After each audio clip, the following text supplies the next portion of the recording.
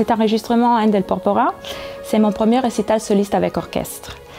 Euh, c'est pour moi un moment très excitant car euh, dès que j'étais étudiante, j'ai toujours rêvé de voir un jour mon nom et mon image sous la couverture euh, d'un disque. Et finalement, on y est.